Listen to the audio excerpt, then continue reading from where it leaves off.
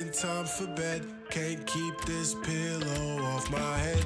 These sheets got a grip on me, a dire situation. So my dreams wake me up instead.